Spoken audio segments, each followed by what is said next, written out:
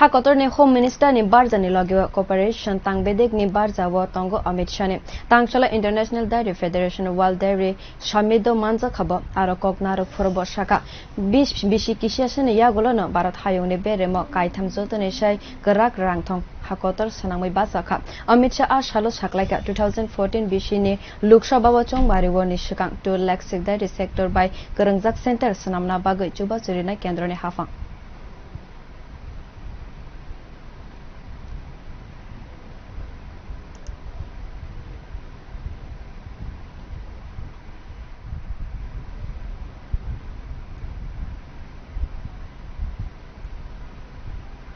दो हज़ार बाईस में हम आत्मनिर्भर होकर, निर्यातक होकर दुनिया के सामने खड़े। तो चौहत्तर से 22 का एक कालखंड, हमारे करोड़ों पशुपालक भाइयों और विशेषकर बहनों और किसानों की प्रचंड पुरुषार्थ के कारण आज देश इस क्षेत्र के अंदर न केवल आत्मनिर्भर हुआ है हम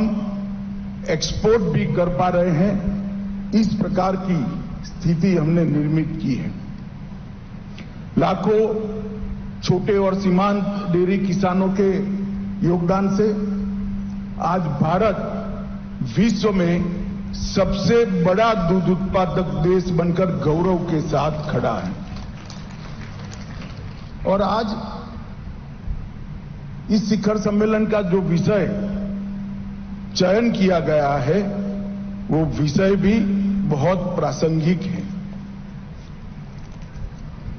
मैं इस पर थोड़ा बाद में आऊँगा, परंतु मैं एक बात, क्योंकि आज यहाँ कोऑपरेटिव की चर्चा हो रही है, ये ज़रूर कहना चाहता हूँ कि 2014 से 2022 के आठ साल के कालखंड के अंदर विश्व की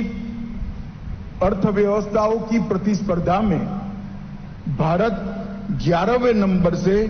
पाँचवें नंबर की छलांग लगाकर आज यहाँ पर खुला है।